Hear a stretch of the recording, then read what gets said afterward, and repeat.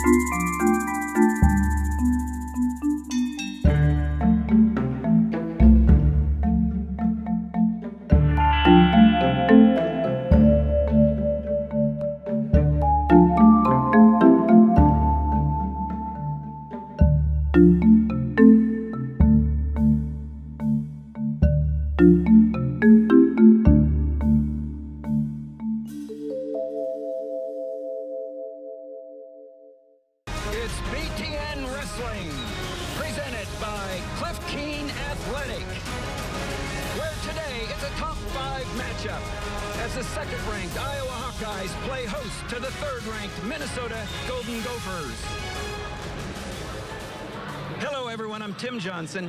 Welcome my broadcast partner, national champion wrestler and coach Jim Gibbons. And Jim, the dual meet championship for the Big Tens are up for grabs. They really are. Since the Penn State-Iowa match earlier in the year was not considered a conference meet, this whole dual meet uh, conference championship is up for grabs, like you say.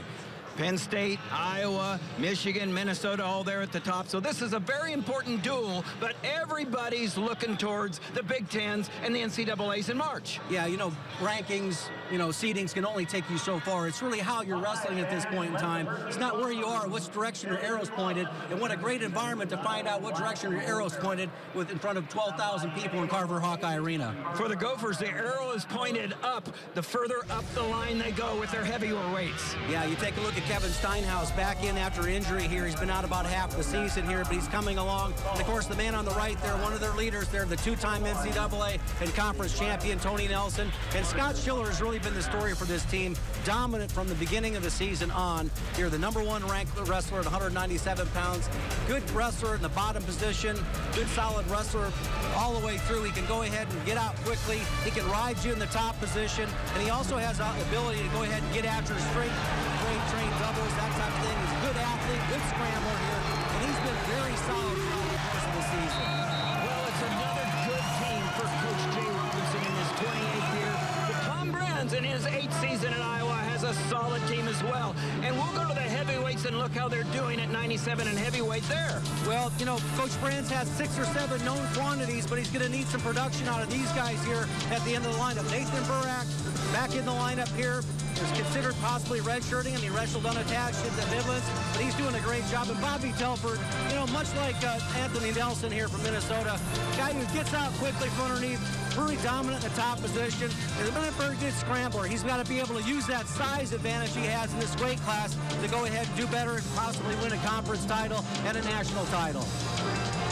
Well, we love this border war rivalry excitement, and to say that the Iowa fans are enthusiastic is an understatement, but that might be all well said for our third broadcast partner, Mr. Enthusiasm himself, Shane Sparks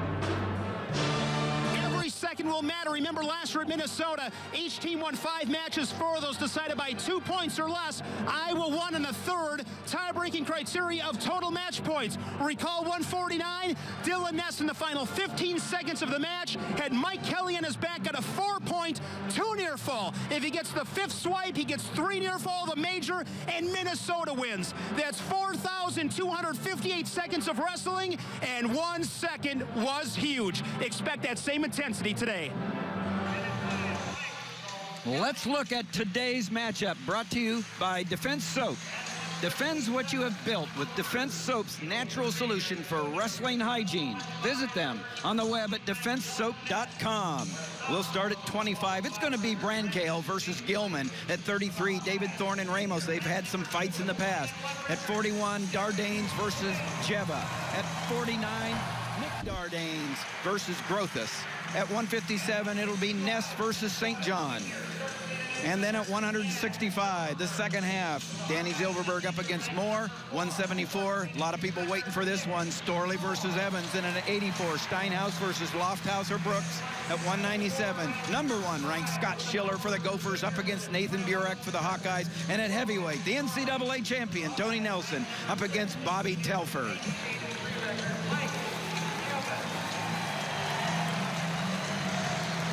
Great environment here, Tim. And once again here, Carver Hawkeye Arena, almost standing room only. Tom Brand's eighth year at Iowa. Three NCAA titles under his belt. Look at that record, 142-14. going up against Jay Robinson, 28th year.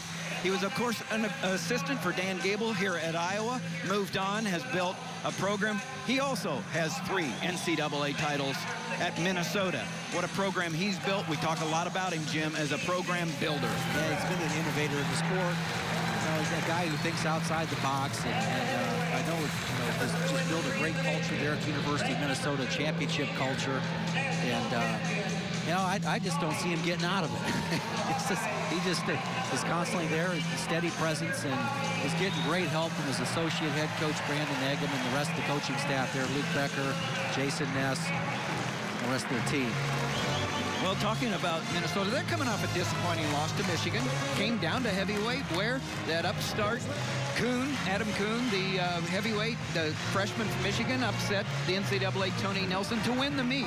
Lost a couple of overtime matches, and uh, so it's done a little bit for them to lose to Michigan. Well, you know, this two things here that stand out. Number one, that heavyweight weight class in the conference is just amazingly tough here. And as they get into the schedule here, traveling, mean, that pays a little bit of it. It's going to be exciting to watch that when we get into the conference season. But, uh, you know, that is part of the grind here that you have with the conference schedule. And uh, I think nowhere is it more evident when you get into late January because, you know, you, your school's back in session. You're trying to train these athletes uh, a couple times a day at least in some instances. And, you know, it's, it's a grind for these athletes, but hopefully that pays off in March. We're starting at 125. Always exciting place to start. Sam Brancale for Minnesota, a redshirt freshman out of Eden Prairie, Minnesota, up against another redshirt freshman, Thomas Gilman. And Brancale, big throw and back points. It looks like he's got him tight there, Tim. This is all the way. He's got the legs in. Gilman doing a nice job of fighting off of that, but Brancale's really not in a position to be able to bring the head up. If you can get the head up, the shoulders will go to the mat. Could but be a is, really big move for the Gophers. You know, I was just saying is that, that, that thinking about it in my mind, this is maybe an opportunity for bonus points, but going with the double overhook and the throw right there, no fear on Brancale's part. And, and this is going to take a lot out of uh, uh, Gilman, but he's done a nice job of getting his belt buckle back, back to the mat. You know, if you're going to get off your shoulders here, you've got to go ahead and try to get your hips turned first. And, and uh, would do well just to keep him here, to, to wear him out. Good call, Jim. I mean, it's not a bad place to ride the rest of the, uh, the, the, the period here. But he's back at it now. He's getting potentially back points again. The referee's counting this as all one move. Boy, I tell you what, Brancale looks smooth up there in the top position. Hips up in great Two position. Two more back points. Actually, I think he just gave three, Tim, for the total move. Oh, three, you're right. We had five up there anticipating. And so three points for the move. Good call, Jim. 5-0. Big throw by Brancale. And the escape right away. makes can, it five to one. You can come back from stuff like this if you just stay patient.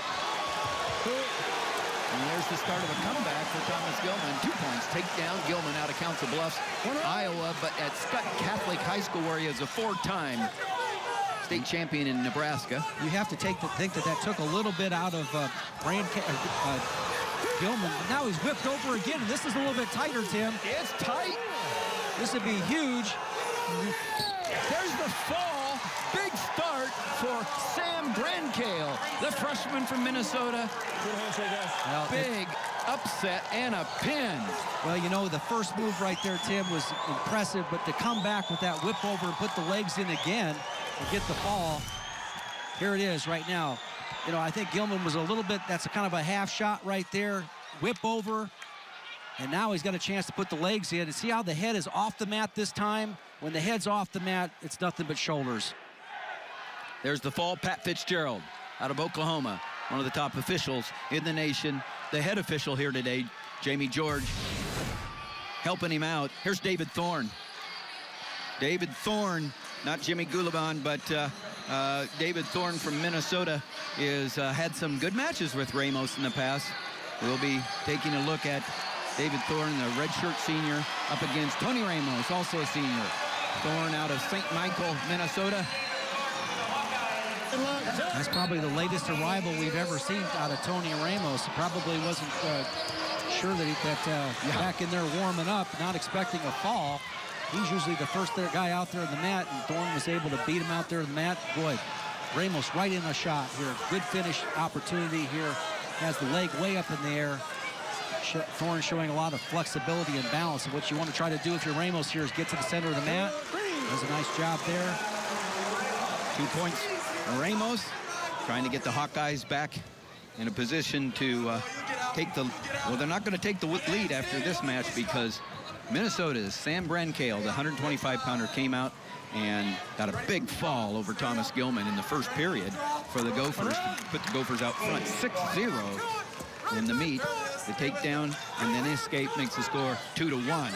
Yeah, Thorne is, is moving up from 125 pounds where he was a really big 125 pounder last season, All-American. Of course, Ramos has been in the weight class here for a number of years and you know, held the number one ranking for a period of time. And, and uh, everybody knows that uh, if you've watched any amount of wrestling here, that that 20, uh, 33 pound weight class is wide open. Ramos will probably have something to say with it. Comes NCAA tournament time. Thorne ranked a little bit lower. See that nine ranking, but it's also a very dangerous wrestler. Got a lot of offense. And I think the, the key for him is to be able to uh, uh, slow Ramos down a little bit, maybe be a little bit more patient with his offense. And then for Ramos, I mean, it's just a shocker. He's out here six minutes earlier than what he thought he'd be. Ramos out front two to one. The Gophers out front 6-0. Here's the intermat rankings at 133. Didn't even have time to put him up for 125. You see Tony Ramos, the number three ranked wrestler in the, this weight class. David Thorne, an All-American last year. One minute. Ramos, a two-time All-American for the Hawkeyes. Good, it's coming. Here you see Ramos getting his head worked on a little bit. Low ankle shot off that collar tie by Thorne. I think this is where it, that uh, Hawkeye coaching staff, Tom Brands, would like to see a little more hand fighting here, maybe try to get the advantage a little bit more for Ramos. And he's, he's generally been able to do that throughout his career, be the first to work the head, make the other man work a little harder. And those shots tend to open up later in the match. Thorne and Ramos having good years, both wrestling very well. Ramos never having lost here in Carver Hawkeye defending the turf. Open up, guys. Open up. Let's go. Let's go. You see both guys have kind of settled in right now with the with these collar ties. And we do get through a first period now at 133. And Ramos out front, two to one over Thorne. Two highly ranked wrestlers. And Tony Ramos is our State Farm state of success. You see, he's undefeated at Carver Hawkeye, 32-0 all-time right here. 8-0 record this season in this house. 20 seconds of riding time build up after the takedown here by, by Ramos. Now we're up to 27. And uh, Russell, Russell. I think Ramos, I mean, this is what you have to kind of do and, and you know, stay in your advantage, really make the, the, top guy work. And so if in order for uh, uh, Thorne who's who's not a candidate for a major, but you never know. But you, you got to work a guy until you find that out. But this is one of the ways you do this. Either the body blows in the sport, really make a guy work hard, and, and uh, if he if he gets out quickly, it's, it's, just a different mindset that you have as opposed to battling and battling and battling to get your hips out and get that quick escape. I mean, action, guys, action. And there's the escape. 102 of riding time, so Thorne will only have to ride Ramos in the third period a couple seconds to, if there's no takedown here this time. Still plenty of time for both athletes to get on their offense. I mean, this is sometimes, you know, wasted territory in a match where if you're not careful, you're not, you're not on the offensive, not looking for your shots, not trying to score points, it can catch up with you late in the match two to two. The strength of an early takedown. Tony Ramos in the first period. An escape by Thorne in the first period, and now an escape in the second period by Thorne. He started the second period down. You know, it's it's Ramos does like to shoot to that leg right there. That, that that's uh, that has the, uh, the knee pad on it, but he's really become proficient in shooting to that back leg, and that's what's really kind of slowing him down right now. You can see how he's Thorne has kept that left leg back, and it's just a natural thing for him. He feels more comfortable now, and that's why you don't see all the shots off of Ramos because he's much more comfortable when the guy leads the other leg. Now he's working the head real hard. I mean, this is just extending the vertebrae in a guy's neck, but if you make a guy work on that upper shoulder and neck area here real hard, you know, it pays off later in the match. Into the second period, and talking about that working the head, that's something this young man has done well all his career. Working the head, heavy hands, going behind. Yeah, that, that, that gets a lot of his points on go behinds, but also off of shots after he's worked the head pretty solidly. And really, it was a treat doing that. Uh, what makes him great segment here on Tony Ramos last week because it really kind of spelled out what what he does well. We'll be taking a look at the Jim's What Makes Them Great segment later in their intermission, and we're going to take a look at that two-time NCAA champion, Tony Nelson. Great segments on BTN. What makes them great with the expertise? My broadcast partner, Jim Gibbons. Three to two, Ramos with that escape. A minute and a half left in the third period. And it comes down to uh, execution. Yeah, it really does. And there's a nice single leg attempt there. He was able to get to that back leg. Good job Whoa. of scrambling by Thorne. Now he's on the other side. Ramos is pretty proficient. He's how he's elbow deep right there? He's elbow deep on that shot. It's going to be very difficult for Thorne to stay out of this. Now he brings it up underneath his uh, shoulder.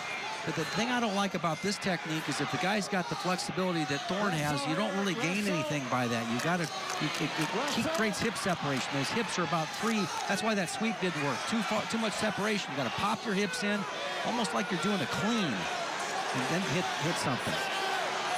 Comes to the collar, but bring your hips closer to his hips. See how this hip separation is there?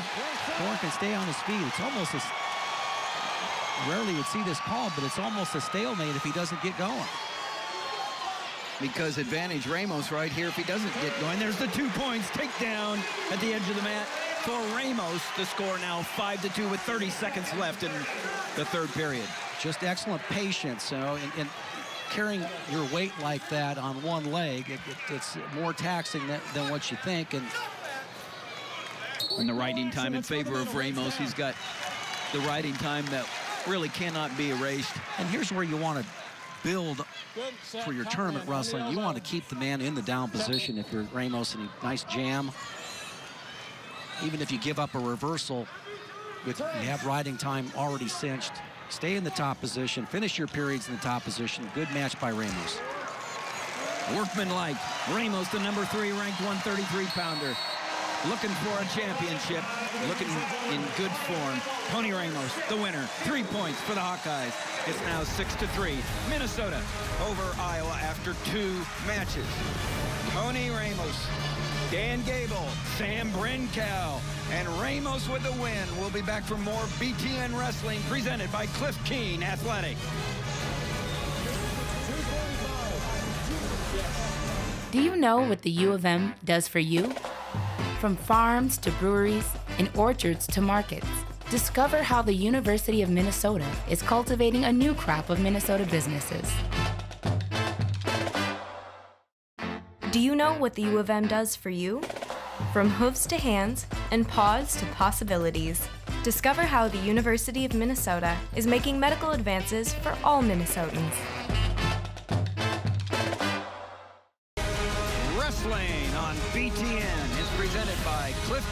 Athletics, built for life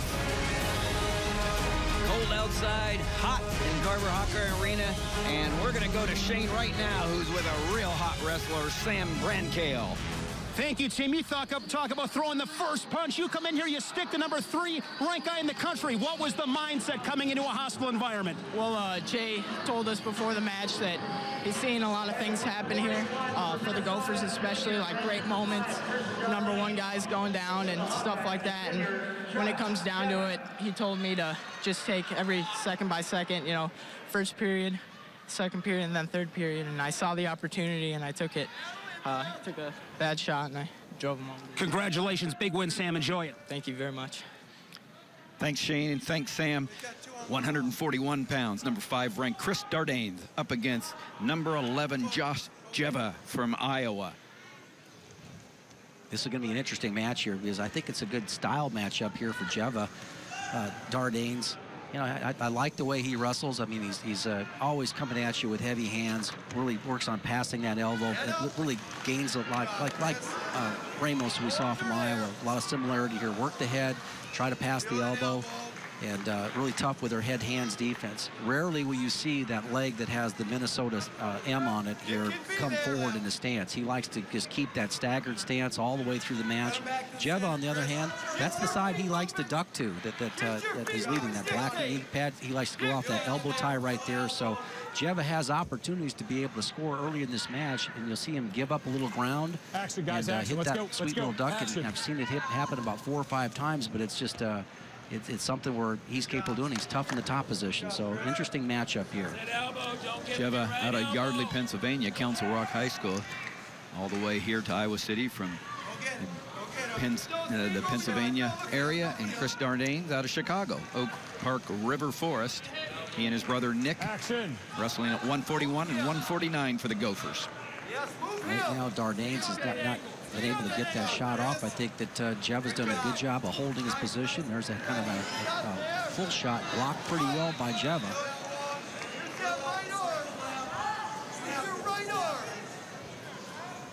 One minute. Really working the head hard, really fighting till they get to the inside. Big crowd here today. But each time, each wrestler is responsible for, especially the Hawkeyes, to get the crowd into it and uh, pull the trigger and, and, and score. And that's all it takes for this crowd, Jim. Yeah, it, it uh, doesn't take much for this crowd to get excited, particularly when the Gophers come to town. There's a nice little uh, shot. See how Dardanes was giving ground that time and dropped his level. But there wasn't any penetration there, and, and Dziewa's, I think, done a pretty good job of uh, fighting here with his head and hands. Kind of interesting. This is a rare visit by Minnesota. They've met 11 times in the last seven years, and only three of those have been here in Carver Hawkeye.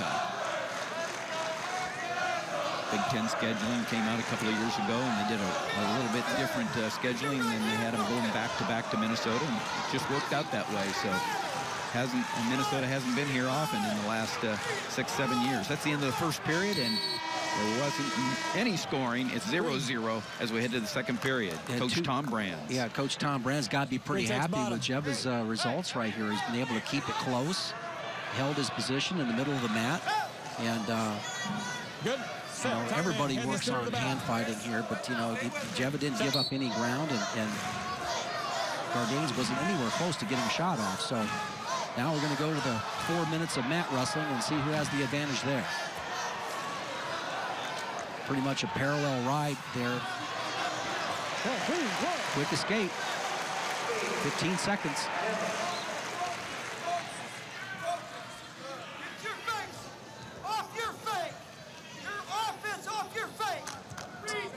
You can tell that uh, what Dardanes is looking for now, not coming off with this little bit more motion, a little more head fakes, maybe not as confident as he can get his shot off from the tie and may have to do it from the free uh, position. And again, this is kind of working into uh, Dziewa's magic a little bit to keep the match close and, and win a few scrambles. 1-0. Iowa's Dziewa leads, leads Chris Dardanes. We're in the halfway mark of the second period here at Carver Hawkeye, where Minnesota leads Iowa 6 to 3 in the meet. Yeah, when you get a, you, you get in a situation like this where, where Dardanes is clearly the you know the, the ranked wrestler, and I mean, Dziewa not bad at 11, but uh, clearly the favorite here. You know, you've got to pick up the pace of the match, and sometimes that, that just by doing that, you you kind of get out of sync a little bit, and see if Dziewa can take advantage of that because there have not, not been any shots, just a lot of hand fighting, and this is the this is where what I'm trying to get at here is that these both these coaching staffs want these guys to score points. You know, get get after it here and score points. And here we've had almost five minutes of wrestling on the feet, and they haven't been able to do that. But that's what you're gonna have to do is score points on demand when you need to, when you get to the next level, particularly in the tournaments. 15 seconds left in the second period. Not many points at all have been scored here. 1-0 Dziewa with that escape in the beginning of this second period. And if nothing changes, as it doesn't look like it will, we'll go to the third period. Chris Dardanes for the Gophers will choose down, have his choice. He'll, sure he'll choose down. Let's go, Red. Let's go, Red. There's a little bit. Of, they're gonna go neutral. See, See, he's, he doesn't want to be underneath Dziewa. You're right. Yeah, so that's, you know, that quick escape, pretty important. And no stall warning on Dziewa right now. And, and you know, I, I really think it's too early for Dziewa to go, you know, totally defense, but he's done a pretty good job of shutting Dardanes down, and Dardanes is going to have to show that he has more than what he's shown in the previous five minutes. There he stuffed the head a little bit. But hasn't penetrated past the uh, heads and the arm. And, and, one of the things that if you become a good hand fighter, you can go ahead, be heavy with the hands and everything, but if your feet don't follow and put your body in a position to shoot, you know, you're doing it all with your from the waist up. Shot warded off by Dziewa. A minute 20 left. And look at the, there's a slight disconnect between what's happening in the upper body of Dardanes and the lower body. He hasn't really, lower body hasn't really caught up and put himself in a position to shoot. Already a minute gone. This will potentially be the, the second biggest surprise of the night so far. And if it goes the Iowa way, it kind of evens things out.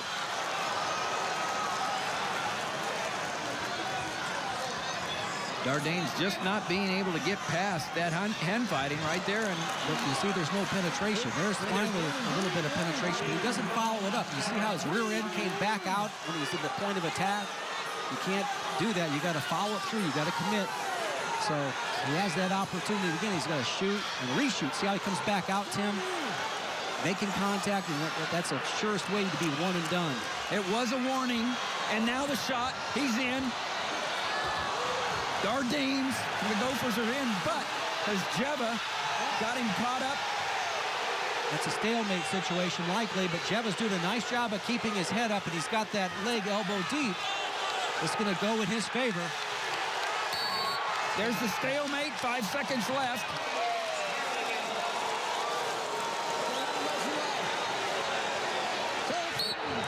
Riding time not a factor. And so the 1-0 will stand up. Josh Dziewa, the number 11 ranked 141 pounder, defeats the favored number five, Chris Dardanes. Three points up on the board for the Hawkeyes. Not things at six. Dardanes just never got anything going. Well, you know, again, he was able to get to that shot, but then at the critical moment, Dziewa didn't hurry it. He was able to roll through, get to those ankles, and uh, he took a couple of kicks to the head in the process, but was able to come away with the victory. Nick Dardanes out on the mat. Ready to go at 149. Luke Becker, former NCAA champion for the Gophers, assistant coach, getting him ready to go. And Brody Grothus, the sophomore, out of Davenport, Iowa, Assumption High School. Grothus in on a shot right away. The thing that, uh, that you saw in the match before with Dziewa, Dziewa was able to go ahead and hand fight right away.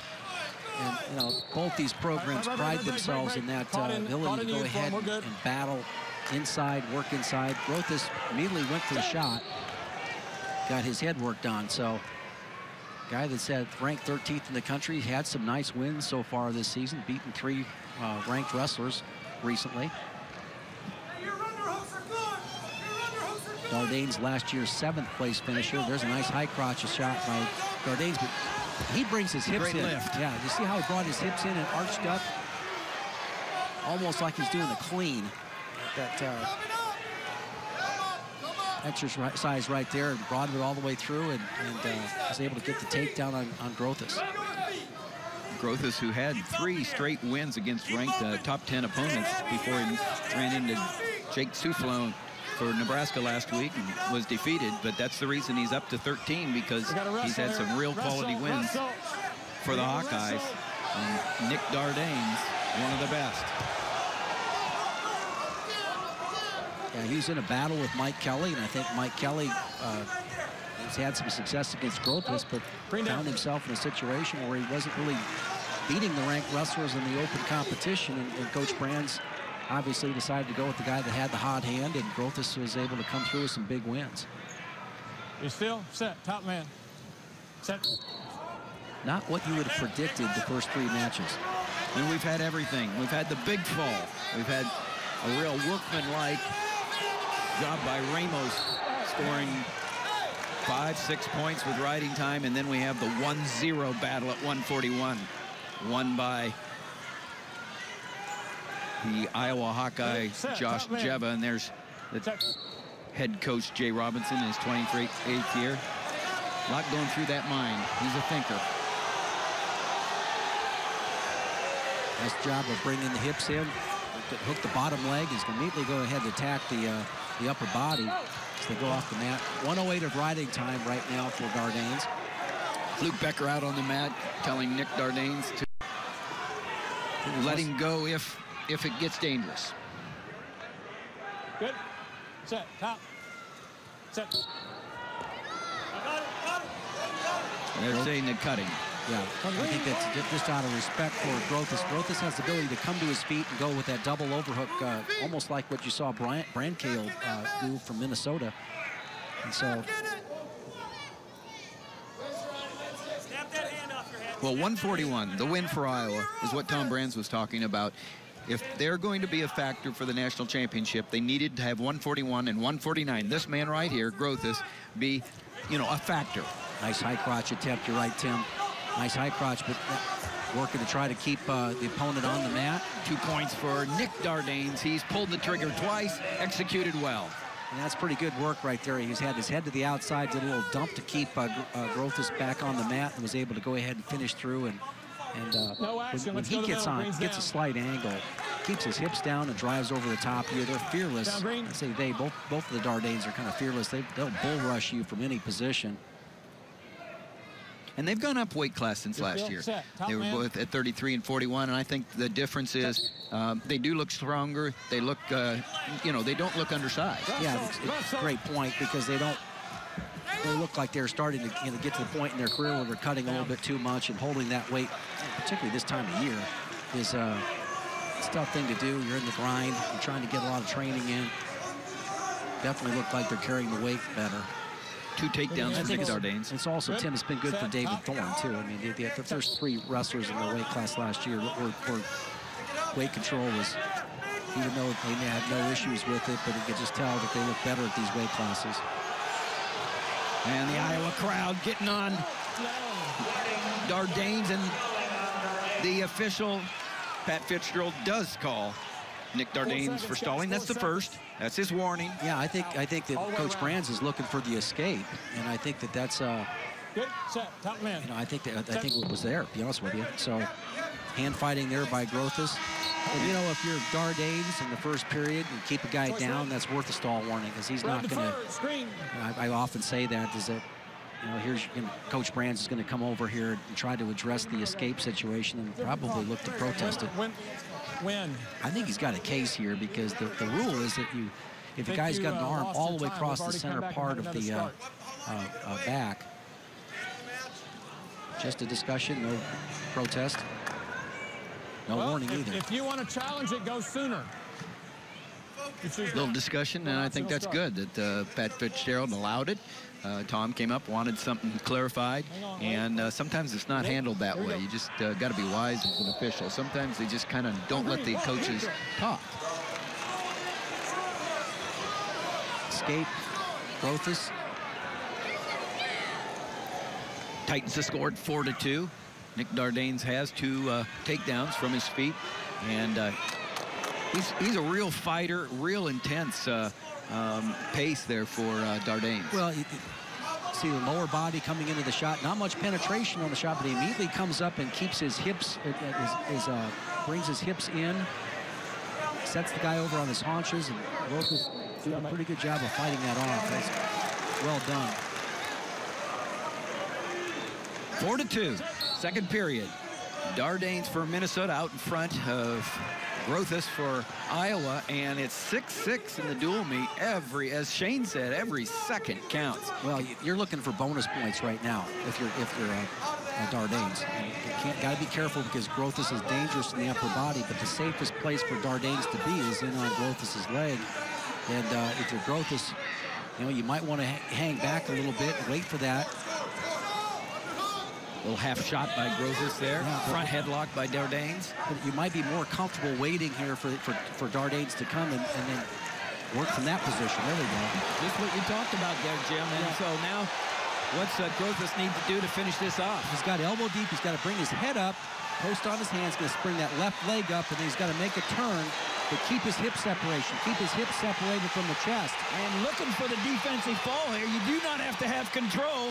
And if your back is on the mat for one second, the pin is well, called. Now, but now Dardane's coming up, perhaps in a situation, the man whose head well, stays up, Jim. Yeah, and, head, and Dardanes has allowed his head to slip down, so it's still a scoring opportunity for Grothus worked himself back into a scoring position. 10 seconds left. The crowd looking to help Grothus try to get this score all knotted up. It's 4 to 2.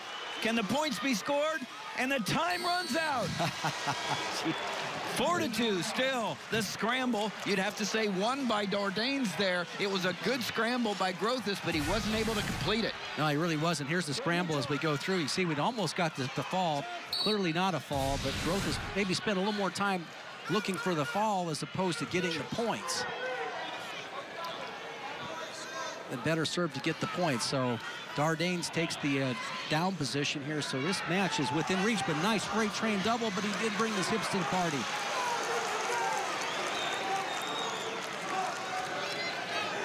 You hit a guy straight on like that, if you feel the least bit of resistance, you got to change your angle of attack. Now Grothus barely be able to get to that leg. Head on the mat. But he got, he's doing a nice job with that right hand up on that uh, waist moving forward. So there's a battle going on here, and the fans know it. They're trying to bring Brody Grothus to an upset win over the number three ranked wrestler in the nation. Well, Grothus will need two takedowns and a ride out to tie it, okay? So riding time is a factor and will remain a factor through the course of this match. So but Dardanes, Dardanes also has the warning of the stalling on him. That's so correct. there is a stall warning already given to Dardanes. He's holding position right there in the middle and I think his uh, thought process of getting a major is out the window. You mentioned it, Jim. Riding time is a lock, so it's effectively 5 to two. It's a three-point lead for Nick Dardanes with 40 seconds left in regulation. Grothus is going to have to do more than a takedown, but take it one, one at a time. Well, if he does get a stall warning on, on Dardanes, which is, is moving forward. And the crowd's, the crowd's bringing it. Will Pat Fitzgerald follow? Doesn't look like it because Grothus now there, there's, there's the warning. That's so what, it's one. That's what he was looking for. He's looking for that shot by Grothus, and that's what got the call. So now Grothus only needs a takedown. 15 seconds left. To tie. If, if Grothus gets a takedown, we go to overtime. 11 seconds left. You know, hold your position, present yourself if you're Dardanes. Give a point. Yeah. And it looks like Dardanes is able to keep the heaviness on the head. And that's the end of the match. Dardanes with riding time. The crowd doesn't like it, but the Gophers love it. It's five to three with riding time. Three more points on the board for the Gophers. It's nine to six after four matches. That's Nick Dardanes. Little revenge for his brother's loss. So it's 9 to 6 in favor of the Gophers. We'll be back for 157, the NCAA champion, right after this.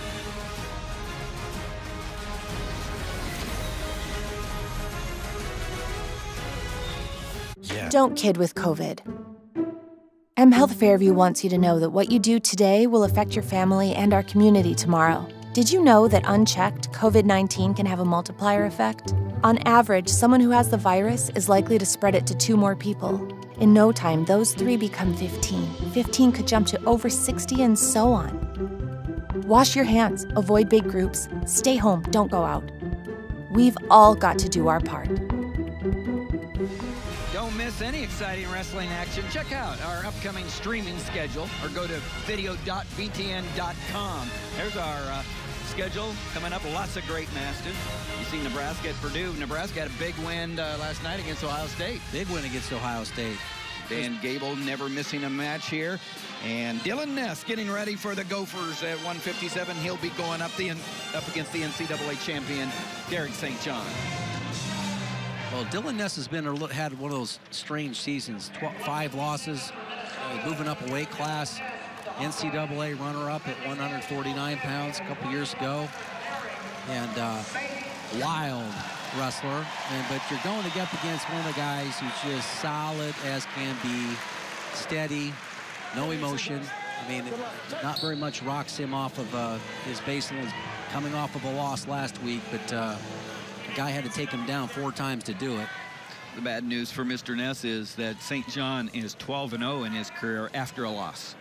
And so he is uh, really good coming off a loss, and Dylan Ness is really good at some funky stuff. But what the coaches would like is to have him mix that fundamentals in with the funk. Yeah, that, that's when you got a guy like that that has those special skills and special talents. And Ness is coming up with his perfect job of, of, getting his head in the right spot and a nice job of shucking uh, the uh, St. John's body off. Now he's able to scoop the bottom leg. Got a great opportunity to score here. All he has to do is clear his head. And I think he's going to do that would. But, you know, just when you say something like that, St. John just gives you that extra little oomph to keep himself in better position to be able to score. Or to get that stalemate. Yeah, and, that, and that's kind of what's happening. There, the head was cleared. Yep, and the hip slipped. Really and well done. High-level stuff there by Ness. Not only to get to the leg, but also to finish. Right here, you're going to have to move up, or you're going to have 10,000 fans on you. Dylan Ness, the big takedown against the NCAA champion St. John. 2-0, the lead for the Gopher. The Gophers lead 9 to 6. We're in the fifth match here the meet at Carver Hawkeye between the number two ranked Hawkeyes and the number three ranked Gophers. And, and here's what separated St. John in the tough matches. He's always been able to get out quick. And if you're Ness, you're going to go ahead and want to try to stay with him a little bit longer. You know, nice job of hand fighting. Continues to work through. Ness building up staying with that ankle, but boy, that, that's what he does really well for a tall guy in, in, in that weight class. He's just, uh, sometimes taller guys are easier to ride, but not Derek St. John. That's why he's a champ. Two to one, Ness out in front of St. John here in the first period at 157. St. John losing last week in that exciting dual meet between Nebraska and Iowa, shown here on BTN. James Green a big win. Four takedowns, as Jim mentioned, to defeat St. John 9 to 7. He's a real deal. Yeah, he, and then Green needed every one of them. Green uh, gave up a takedown late in that match, but uh, well, I think St. John is a, you know, there's two takedown guys, one takedown guys. Derek St. John is a four takedown guy. You got to take him down four times to beat him. That says a lot. As we said, congratulations to Nebraska. They're, they're uh, had a big win against Ohio State. Such a quality program. Tom Ryan and congratulations to Mark Manning. So many good programs, great programs in the Big Ten, and it's because of great coaches. Here's the here's what the Minnesota coaching staff was talking about with regard to Ness. I mean, create some offense, straight on double leg, and uh, sense that St. John felt a little danger there. It's not as easy as just going around a guy, okay? That's doing a nice job, not only of the shot, but bringing and gathering his hips underneath him and keeping the head up. Yeah, let's see how he tries to improve his position here. Now he's going to go ahead and come to that bottom, you know, that leg, try to get St. John on his hip. And St. John really just flares that right knee out. See how he didn't go down to his right hip? But now he changes the position up a little bit. Boy, he is just dangerous. See how he has to hold of the wrist? He's looking for a chance to come uh, with his legs through. And time runs out. Oh. That was all instigated, instigated by Ness. And uh, Luke Becker, the NCAA champion assistant coach. And look there, there's Derek St. John, Iowa, Minnesota, nine to six. The Gophers like, out in front. Looked like St. John was a little bit along for the ride there. You know, they couldn't really kind of break free uh, like you'd normally see him do. That was a nice work by Ness. And he understands that he's got to build on his lead right now as opposed to just hang back. Good spiral ride action right there. Now he's going to come back. I like this action right there. Good work by St. John. Now he's going to work into a headlock. Now a roll through. Here, good scramble by both guys. Wow. This is, Ness is on his A game here today, boys. I know it's that. Break, break, break. Dylan Ness, the junior out of Bloomington, Minnesota, John F. Kennedy High School. We've mentioned that a lot over the years because his brother Jason, that's the NCAA champion who had that big takedown and back points against Daniel Dennis in the NCAA finals a few years ago. One of the most exciting moves to win a championship I, have ever seen. Uh, normally, I'd be talking about, yeah, keeping the riding time, but this match isn't going to be decided by riding time. There's going to be a lot of action and flurries before this is over with here. Reversal. Reversal by Derek St. John. Yeah, nice job by St. John of continuing on, not just taking the escape. He had it right there and turned it around, got the uh, take or got the reversal. Three to two. Well, he needs to change the tempo of the match, and a reversal is a great way to do that. If he just got, gets an escape, he's got to deal with Ness getting back in on his leg. Here, at least, he can get on the top position and make Ness work. You know, all those explosive little scrambles that Ness does, you know, they do take their toll, you know, later in the match, but uh, Ness is kind of camping out a little bit in the bottom position. 43 seconds left in the second period. It's 3 to 2 in favor of the NCAA champion, Derek St. John, over two year ago NCAA runner-up, Dylan Ness. And Coach Brands, you see that, definitely wants to keep uh, Ness in a down position. They found an advantage here. Set, hot man, head in the center. Set. Right on the ankle, ankle and tight waist right. You move up off of that. Again, this is uh, when you kind of hit that switch position, I was looking for something really, really high risk. Here's where St. John will just basically come back into that.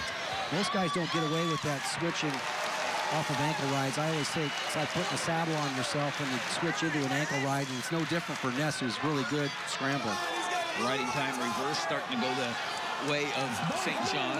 Not a factor right now, under 15 seconds but uh, the factor could be the crowd, and that's what the Hawkeyes uh, love to uh, to wrestle with, a crowd 10,000 plus that are uh, obviously very partisan, very savvy, and they're wanting to will Derek St. John to a big win here. Interesting choice. Luke Becker, looking back, uh, was pretty insistent that uh, Ness would take the down position, so you know, he, he's had some success on the feet. He had not had much success in the bottom position, so that's a strategy that they wanted to employ probably right from the beginning. They knew that they wanted to see Ness in the down, bound down position. Uh, at this time of the year, does it have something to do with this time of the year? Yeah, I think it does. I mean, because really the tempo of the match would dictate that you wouldn't do this, but so well, maybe you find out a little bit later that you're not going to have much success, but I like the call right here going down. I mean, now you know. you're not going to win unless you get out. That's right. Whether it's the Big Tens, the NCAAs, Derek St. John building that riding time, the crowd seeing it. They're going to cheer here in a couple of seconds, and there they go, a minute of riding time, and now can Derek St. John turn Ness? Well, I tell you what, the question is, is he going to give up uh, back points before he gets the reversal? You know, that's a, is that the trade-off that you really want to have right now? The funkiness, the scramble ability of Dylan Ness, always real present. Heel pick. He has the left foot in, in, in bounds here, so look at St. John, just really wise as to where he was. They're going to go out of bounds. They'll come back to the center. 47 seconds left. A minute 34 riding time now. Advantage for Derek St. John. Well, for a short period of time, you had a cement mixer, the snake, whatever you want to call it, here hooked up on St. John, and St. John just said, I'm going to get off the mat, right? He did everything to be able to go ahead and, and, and tactfully do that. And again, it created a, a scramble for Ness, but riding time already there. I would expect for Ness to look for some sort of reversal, but it's just so hard to do off that ankle ride. The referee's allowing uh, St. John to kind of stay with that, so he both wrestlers tight waist and ankle ride, hits a little elevator. He's got no danger. No, yep. he got, got, it, he got it hooked up. He's, he's got, got it hooked up. He's got it hooked up. He's going to pin him. Yep. Once I saw him get the chin. Yeah, he hooked the snake up right there, and that was just we said it's yep. always present. Thomas Landrum is proud of that one. big, big, big move. Reversal, three-point, near fall. Five points added on, seven, and a point for riding time for St. John. First time he's lost after a loss. It's seven to four. Big, big win for the Gophers. Dylan Ness Winner by decision. Winner with a five-point move in the last 15 seconds. The other winner is Luke Becker, who told him to go down that down position here and stayed steady with it and, knew that he could hit the big move from the bottom position. So look at this. Got the, he's got the chin hooked up. That's what he's after first and foremost. Then he elevates with that right foot. Right now, I thought he had a, he had an opportunity to stick him right there.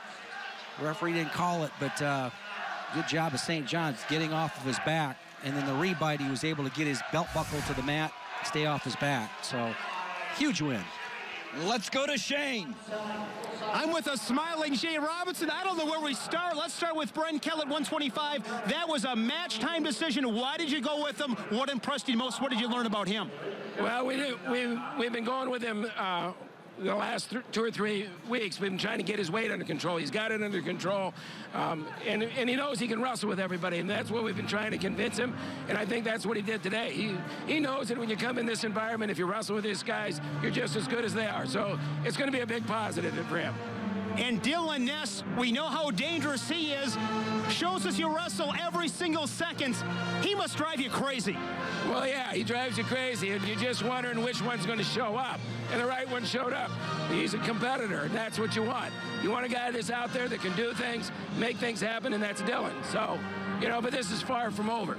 I mean, there's five more to go, and anytime you're here, it's a battle. And so our five next guys, they got to come out and do what they got to do. Thanks a lot, Coach Robinson. Shane. Thanks, Shane.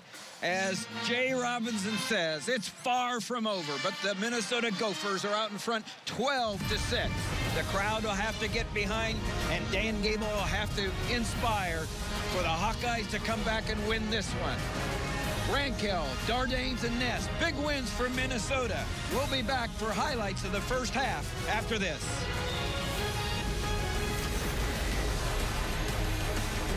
Don't kid with COVID. mHealth Fairview wants you to know that what you do today will affect your family and our community tomorrow. Good hand washing protects you and can slow the spread of the virus. Use soap and warm water. Be sure to wash both sides between your fingers, fingernails, thumbs, and wrists. Scrub for at least 20 seconds. Wash early and often. Wash your hands. Avoid big groups. Stay home. Don't go out. We've all got to do our part.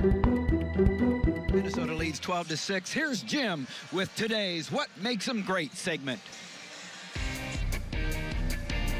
You know, what makes them great segment? Let's take a look at Minnesota's heavyweight, Tony Nelson.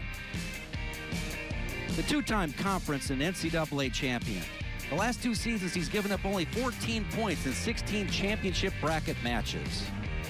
This is a strong man that moves well in this weight class. Great footwork. Here you see him on the defense and the go-behinds. Does this as well as anybody in the country. But he has the, also the quickness of a lightweight here. Here you see him faking to one side and coming back with a freight train double.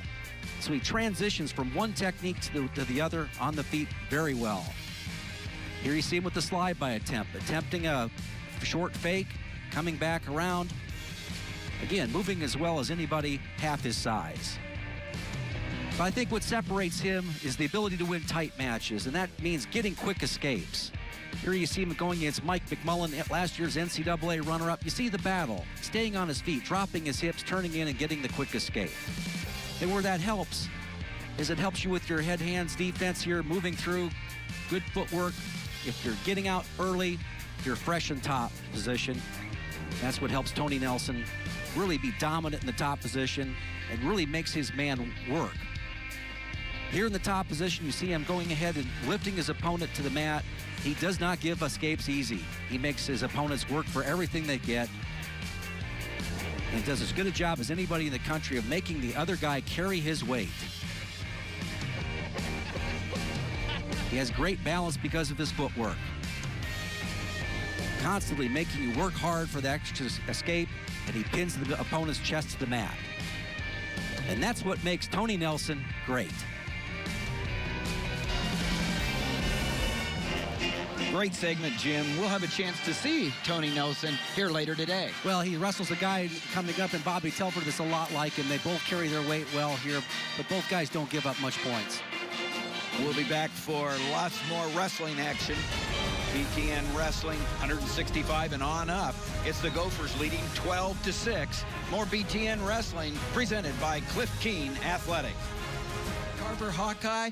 And let's go to Shane, who's with Coach Brands. Coach Brand's first five matches, pretty crazy. When you went back to the locker room, what's in your head? We went to our back too many times. Twice in the first match, once in the fifth, last fifth match. Can't go to your back. Silliness. Long way to go. Yeah, got five matches here. Let's go to work. All right, Shane, thanks a lot. Let's go to work. And we'll start at 165 pounds. Danny Zilverberg and Nick Moore. Nick Moore, the junior, Iowa City West, teammate of Derek St. John. They both wrestled, grew up here in this area, wrestled at Iowa City West. And Danny Zilverberg out of Wayzata, Minnesota, Wayzata High School. But Nick Moore's really made some strides this year. He's talked about getting to work. Coach Brand's got to be happy with the work that uh, the body of work so far in this season that uh, Moore's put together here, you know, gathering a number four ranking. And, you know, he, that, that a lot of uh, guys in that weight class probably won't meet each other the rest of the year, but, uh, you know, an opportunity in the, uh, you know, in the top five rankings. Of course, you got you know, David Taylor, and he's been on a roll just, uh, you know, just munching everybody. But uh, Moore's having a good, solid season and is turned into one of the guys I think Iowa can count on at the uh, Big Tens and, and, national tournament. So, guy who gets out quick from underneath, and, and Zilverberg, you know, he's kind of been a journeyman here at this weight class and, and uh, in the program, and and uh, I know a lot of people feel pretty strongly that if he can keep this match on the feet and uh, not make any mistakes in the beginning of the match here, that, that this match winds down a lot like we saw with the uh, the match with Grothus, you know, gaining momentum against uh, Dardanes, is that uh, that can happen for him. Well, last year Zilverberg wrestled at 57 against Derek St. John and lost 7 to 4. And I think you make a good point. I think that Iowa feels like they're at a place where they can count on Nick Moore, and I'm not sure that Minnesota feels that way and are waiting to feel that way with Zilverberg. I think they're optimistic for him, but they haven't had enough evidence yet to kind of have that feeling. And uh, it's changed with Moore. And he's, he's been a different wrestler this year. And you know, he's not he's not always real uh, flashy, but he can shoot when he needs to. And and uh, but you know, how about uh, I get just still get still in shock a little bit over these the first match and the last match that we just saw. And what Tom Brand said, I mean, they went to their back.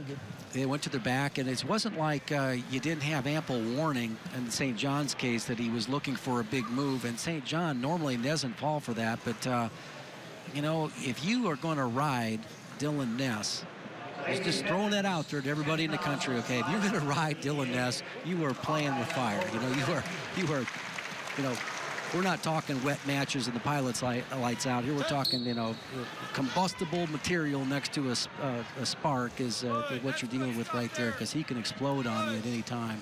And for Brancale, that was not his one and done. It wasn't like it was a fluke. Nice shot right there. I really like what I saw there. Now, he, good work by Zilverberg getting out of it. But you see what, what happened there that, uh, you know, it was more than just that half shot. There was a little bit of a follow-up to it. He did get to the leg, and I thought that was pretty, really good work here by Zilverberg. David Taylor leading the intermat rankings, number one, undefeated. NCAA champion, three-time finalist, trying to become a four-time finalist and a two-time NCAA champion is David Taylor. Nick Moore, big win a week ago over Tyler Caldwell from Oklahoma State, which launched him up in the rankings. Yeah, and uh, Caldwell's, you know, solid wrestler, has been an NCAA uh, finalist, so you've got a uh, really good skill set there for Caldwell, but uh, yeah, these are some nice wins that he's been accumulating.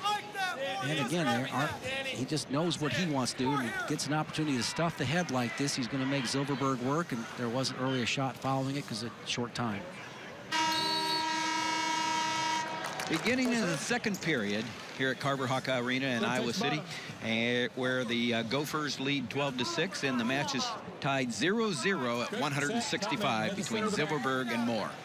And Zilverberg looking for the quick escape again. He's been able to go ahead and do what he wants to do and, and, and turn this into a four-minute match with no score.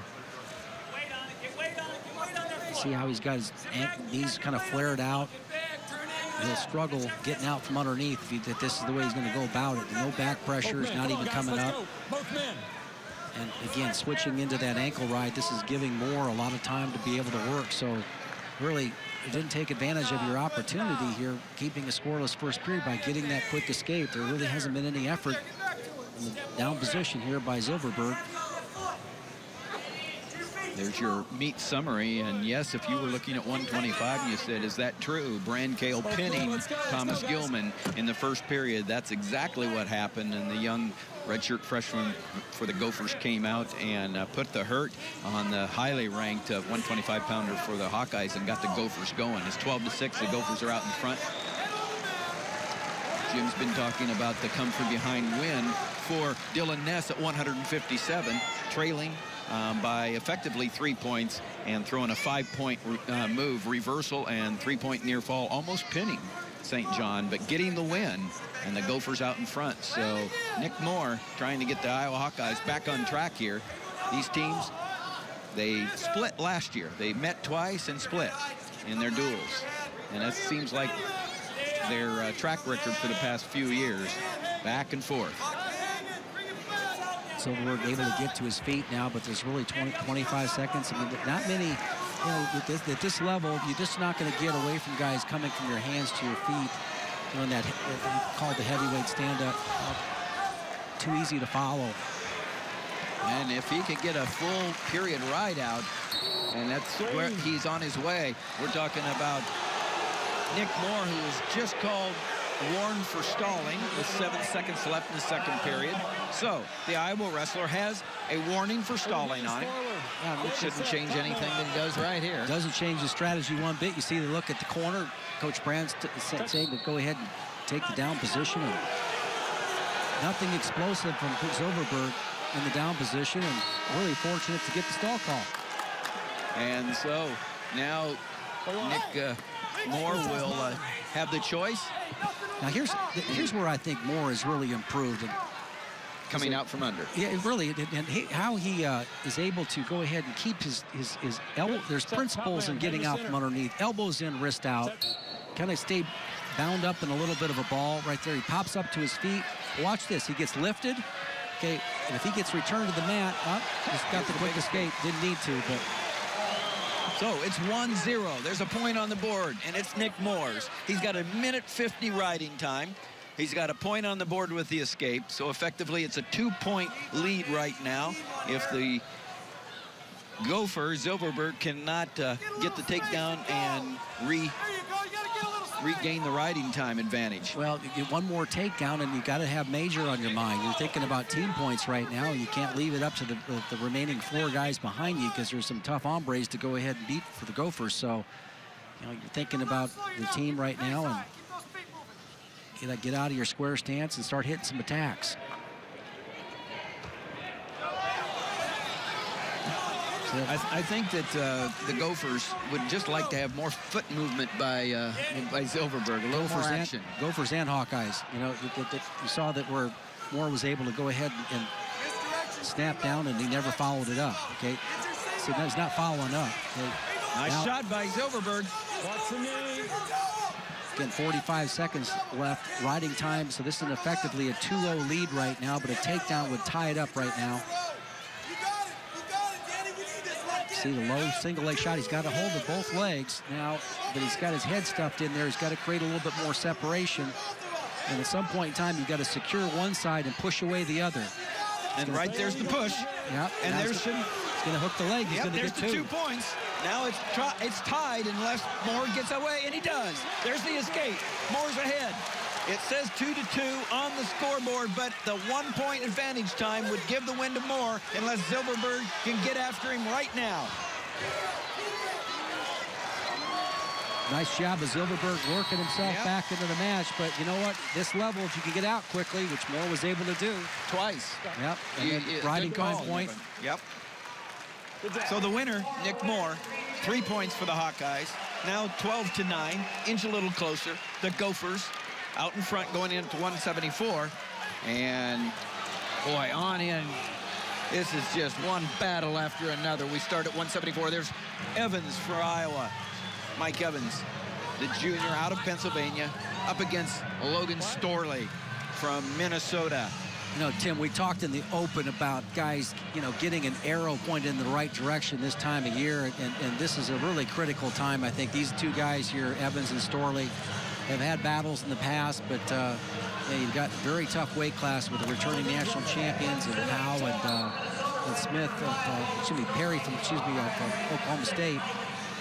And uh, these guys are, I wouldn't say in danger of moving to the next level, but you know, you certainly don't want to be pointed in the wrong direction. One of these guys will move forward off of this with Kokesh getting better, with uh, Brown from uh, uh, Penn State. These two guys kind of round out those top guys in this weight class, and uh, you know, this is maybe the first rung of the ladder here to uh, uh, finishing a good season. Last time these guys met in a dual meet, Minnesota beating Iowa in the national duels, and Storley beat Evans 3 to 1, cementing his number one ranking at the time. And then things got tough yeah, at I the think, Big Tens. Yeah, and, and, and Evans has had a, it hasn't had a, a, a big win, you know, as of late. There's a low shot there by Storley, and pretty crafty wrestler. See how he's keeping that elbow deep potentially dangerous. Wow. Um, the knee was bending a way that uh, Pat Fitzgerald, the official, didn't like it. Calls him back to the center. Two minutes and five seconds left in the first period. Well, the winner out of that exchange then was Evans because it, I didn't see it that way, but uh, good opportunity for him to clear the scoreboard and get back and get on his offense. Storley's never uh, redshirted. He uh, was an All-American as a true freshman, All-American last year as a sophomore. Center, center, center. Evans, an All-American last year. Good job, guys. Good job. Get in the middle. Sixth place at the NCAA championships, 174. Yeah, it, it, these guys had wrestled before where, with one guy had the top ranking. Well, now they're they're down a little bit more at five and six, and you'd like to see them open up a little bit more and maybe take the lessons from that and, and, and, and help their season. Uh, I like that. Pass that. As you look up on the line here at 84, 97 heavyweight. Really, really important that uh, Evans for Iowa gets one of those signature wins for his team. And Storley feeling like uh, he wants to establish himself back up there, as you said, Jim.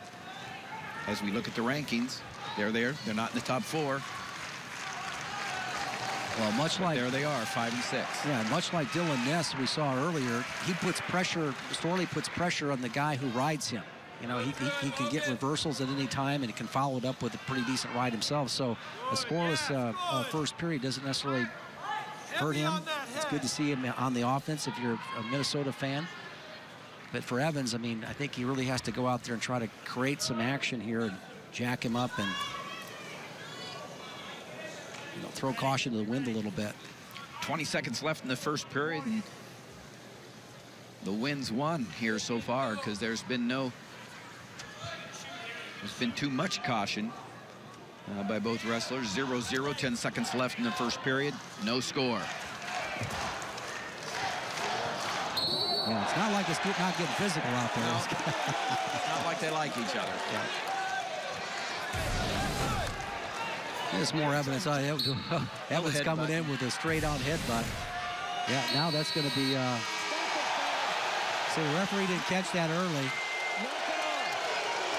Didn't make note of it, but Evans really came at him with the top of his head early, and, and uh, Storley kind of let you know in that last exchange what he thought of it. Jay Robinson tell him to calm down. Evans uh, deferred his choice, and Logan Storley will choose down to begin the second period. You know, but that's what kind of what these guys need, all right? They need a little bit of this. Nobody's getting hurt out there, but they need a little bit of, uh, you know, let's ratchet it up a little bit. Know, see what happens. Evans starts on top. And Storley, as you talked about, Jim, he's so good on the bottom and here. He elevates, but Evans stays with him really nice, staying close to the hips, staying in control, no change. Yeah, nice job of rolling through by Evans, and he's going to win that exchange. 21 seconds of riding time. But you can see how Storley puts the pressure on the top man. Stay with him.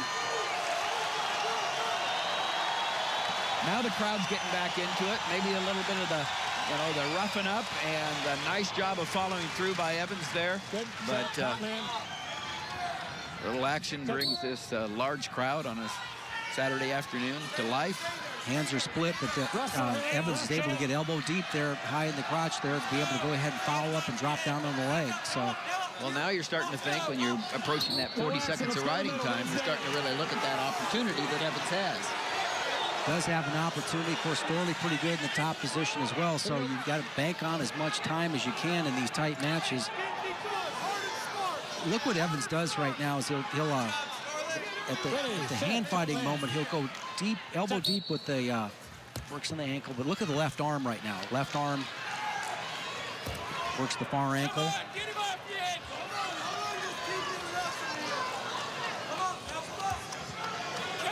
What keeps him from being called for stalling in there is just his uh, his footwork, but he hasn't really, the action really is he hasn't moved off the ankle. He shouldn't get about 10 seconds on the ankle. He's able to drop back down on it. Well, Evans starting to make a statement. Last year, Storley and Evans wrestled three times. Well, every time, Storley won. Well, and every time it is something like that on the edge of the mat here where Storley's able to get that timely escape. Just finds a way to, to uh, win matches. And Evans was working hard in the top position there. And, and now, you know, Storley looks, still looks pretty fresh for all that work he put in in the bottom position. They met in the NCAA championships Storley winning 3 to 2. They met in the two dual meets last year. Storley winning 3 to 1 and 4 to 3. Always close. Always Storley last year. Right now, Storley out in front 1-0, but a minute 5 riding time for Evans here in the second period. 20 seconds left. The Minnesota Gophers out in front of the Hawkeyes, 12 to 9. Both guys trying to gather themselves a little bit from that exchange on the mat. Seems like it not really committing to it. But again, Evans really wrestling pretty high. He hasn't been able to get any shots off. He hasn't been able to break through the head-hands defense of uh, Logan Storley. Well, Evans good his opportunity now to uh,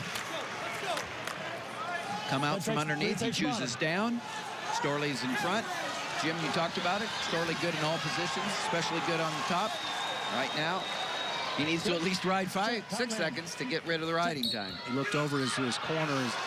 They gave him the, the five-finger uh, salute, basically, to let him know he had to ride for five seconds. He just did that. Actually, we're at 10. But, you know, right now, you just go ahead and take your opportunities and see if uh, you can ride him the whole period.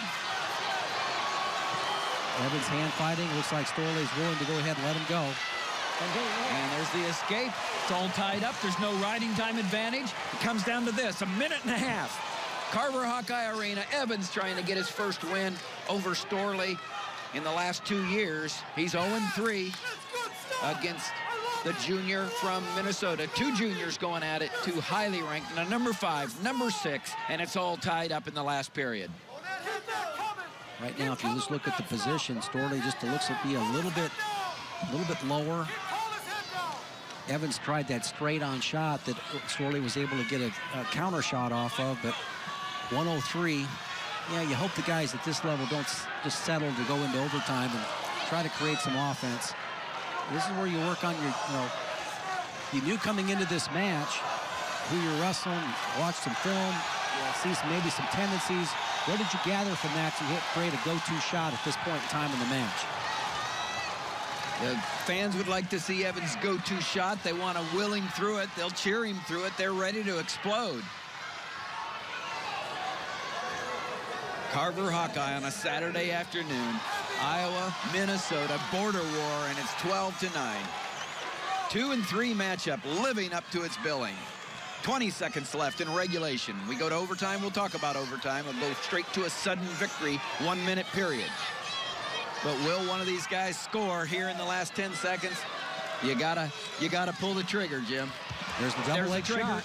There's the trigger. Duck. And the time runs out. We go to overtime. Well, that's what's so frustrating. All that was available a minute earlier. And uh, give Storley the credit for going after it there, and that's why you can see how dangerous he is. We put one minute on the clock. They go right to it. Any score, there's your winner. Sudden victory. Evans really needs to get on his offense right now. What is his? What, what is he trying to accomplish out here? There, there's the low ankle pick.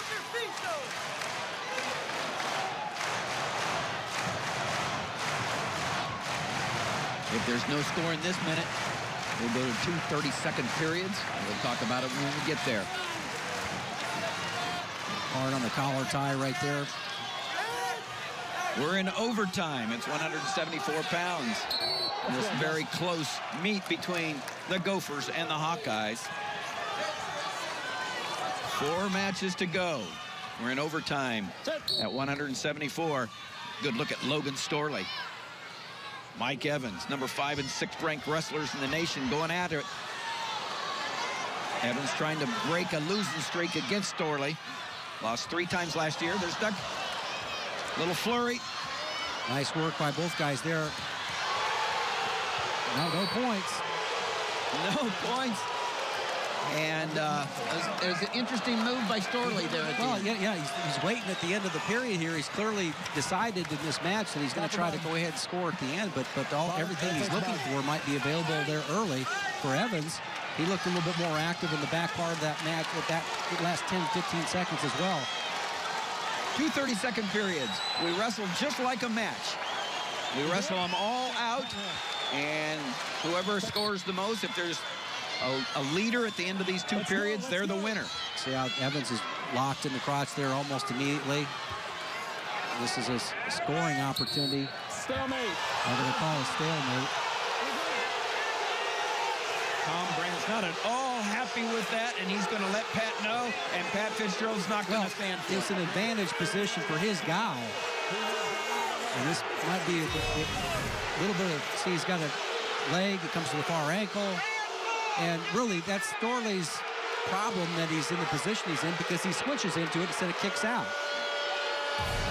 The official, Pat Fitzgerald, gives him a warning to uh, the Iowa bench to Tom Brands. Now, that was real arguing. Warning. Yeah.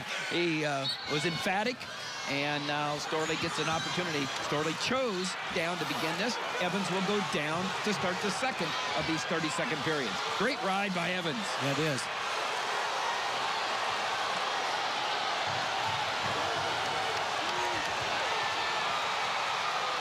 Yep, ankle to ankle.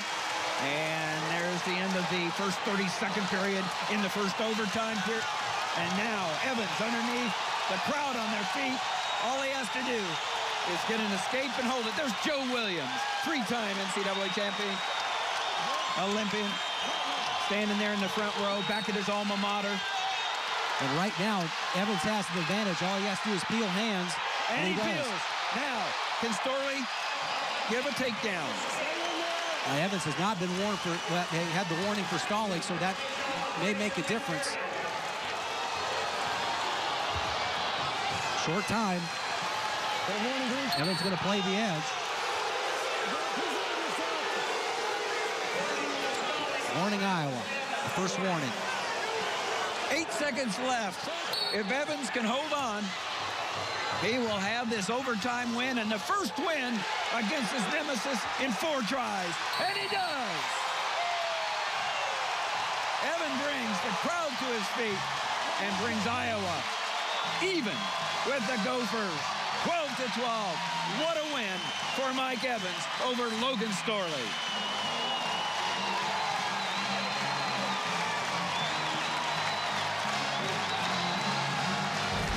The fans go crazy. The meet is all tied up. We'll be back for 184 and more BTN action right after this. Wrestling on BTN is brought to you by Jay Robinson Intensive Camps. The change is forever. And we had a big change right here in the momentum. Mike Evans. Well, Mike uh, Evans gets to his feet, Tim, and that's the big thing. He made the decision er, easy for Storley to go ahead and try to win this with 25 seconds left. And you see the emotional reaction by Evans, and he felt he was due. And the crowd was emotional. It's electrified. We go to the last three. We're at 184. Sammy Brooks, the freshman, going up against the veteran, Steinhaus. Kevin Steinhaus Jr. from Pennock, Minnesota. I think he's a senior. Steinhaus is a senior. And All-American. Brooks has had a good season so far here for the freshman up at the weight class and likes to work a lot off that two-on-one. Seems to get more, uh, you know, stronger as the match goes on. Steinhaus, I mean, he's been, you know, out part of the season, coming back from a, from an injury and got a kind of late start. But, uh, you know, this is probably just what the doctor ordered here for him, an opportunity to get in front of a lot of people and this type of environment and show what you're capable of doing. Had a tough finish to the, the last latter part of the season. Now they're working off the underhook right into that uh, single leg here. So looking for more room to work with. He's on the outer third of the mat right there. He's going to go ahead and try to do the dump and works. And he gets the takedown. Both ankles there. And One green, one neutral. Somebody with a little bit of interest looking on there, Dan Gable. Statue outside. He opened this place back in the early 80s. And in 21 years, won 21 Big Ten titles for the Hawkeyes and 15 NCAA titles as their coach. Of course, the Olympic gold medalist in 1972. Never a Hawkeye meet in this place without Gable. Inside trip there attempt by Brooks. And now Steinhaus, again, he works pretty well off the underhook. And then he has a little limp arm there off the single leg. Drops into a low ankle ride himself. So that's just experience. But I, you know, I like what Brooks does. I mean, gets out there and gets after it. He works the ties hard. You know, that's going to pay off for him during the course of his, year, his career, just to get after these guys. And, and uh, he, he tests them physically, and I like that from a freshman. Kevin Steinhaus, as you said, he No, no, no, had a green slow caution, start. green. He was injured. And down there in uh, foreign territory for him, being ranked as low as ninth. Yeah, he's working his way back up, and this would be a nice, you know, nice confidence building situation. I, I, I think that it's you got a senior here. He's he knows what he's capable of doing. He's had some big wins over the course of his career. Again, just wasn't able to put together tournament time last year. Brooks out of Oak Park, Illinois, Oak Park River Forest, the same high school as the Dardanes. And you see a lot of similarities with their styles there. They work heavy hands, now working off that underhook. Again, Brooks just has to stay in this physically. And, you know, and for him, particularly, pace is more important than score. Right there, a little counter shot. He's in, and as you say, he's elbow deep. Yeah, Can he he's trip it? Well, does he have the experience to know what he needs to do? Does he, that he needs to come all the way back to the center. Now with about seven seconds left, he's got to just go for it. Get his hips in. You see the hip separation there? You can't score with the leg up if you got your hips that far away from your opponent. A little closer for Brooks there. Luke Becker out there, encouraging. Becker and Brandon Eggum, the assistant coaches for a long time, head coach there, Jay Robinson.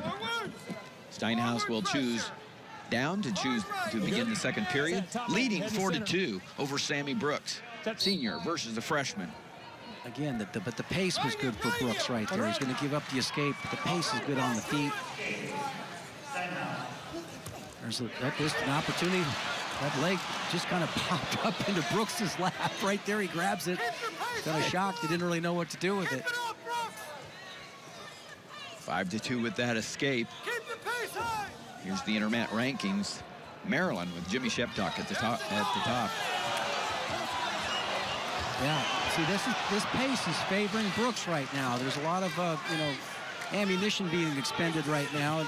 No uh, no kill shots, so to speak. But you've got uh, Good position by Brooks, though. He's, he's Yeah, just- keeping good position. Yeah, but but keep the pace of the match up, and he'll he'll he'll, he'll test this guy who hasn't had a full season worth of uh, uh, conditioning out there, and in, in particular match conditioning.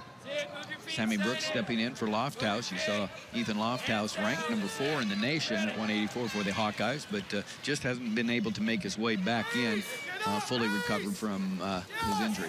Yeah, there goes Steinhaus off the underhook, but just didn't follow it up. It's just not as crisp. Works off the underhook that time, really. Now a counter shot there by Brooks. There's the two points, and you talk about the pace. Yeah. Coach Brands over there telling him to, and, and Coach Morningstar over there telling uh, uh, Brooks to keep him down. They want to add up the little riding time here. They know that, One that point uh, escape. Steinhaus is good in the top position. Riding time advantage there is none, but six to four point advantage in favor of Steinhaus from Minnesota. It's 12 to 12. The meet has been tied twice. It's been tied at sixes, been tied at 12s. It's been one of those great border war rivalries that the this crowd and the fans from Minnesota have come to expect. Let's That's the it. end of the second period. Full of surprises. This, this meet has been full of surprises. 74. Took the, the shot by, this time got the leg up high enough here and able to get a small little shallow kick on him and just enough to take him down. You think about all the opportunities. Brooks has had with the leg up in the air. He got probably one out of five. And uh, he could increase that ratio. Well, there just seemed to be a, a sense of urgency there. Okay, I've got it, and I'm getting right after it, and he finished it a lot faster last time, Jim. And here is good hand fighting on the part of Brooks. Gets the one. See, that's where the crowd helps out to help make that call. Steinhaus really is in no, uh, it's better off for him to go ahead and continue to ride and get the uh, riding time point. Crowd gets a little excited, gets a little impatient, and just kind of let go of it. I don't, I, I don't know if Brooks knows how good a condition, or got how good a position he is in this match.